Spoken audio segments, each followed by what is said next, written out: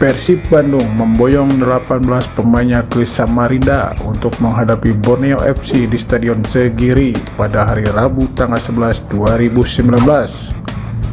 Para pemain tersebut sudah bertolak menuju ibu kota Kalimantan Timur melalui Bandara Adi Sucipto, Yogyakarta pada Senin tanggal 19 2019.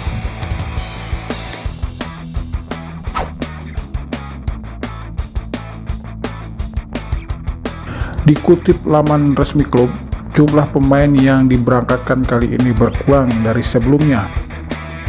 Tiga pemain yang tidak diikut sertakan adalah Ahmad Cuprianto dan Febri Haryadi yang absen lantaran akumulasi kartu kuning.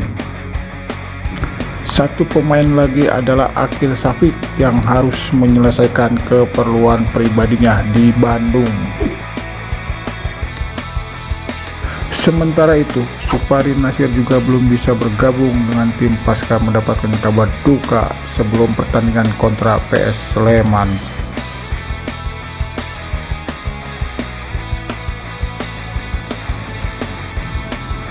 Berikut 18 pemain Persib untuk menghadapi Borneo FC di Stadion Segri Samarinda Untuk penjaga gawang ada Dika Bayangkara dan Imade Wirawan.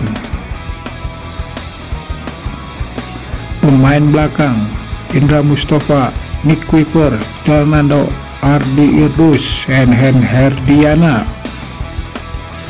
Untuk pemain tengah ada Abdul Aziz Lupi, Kim Jepri Kurniawan, Erwin Ramdhani, Dedi Kusnandar, Haryono, Omid Nejari, Esteban Piskara, Fred Putuan, dan Gojali Siregar. Persib hanya membawa pemain depan yaitu Kevin dan Ejazil Endwasel.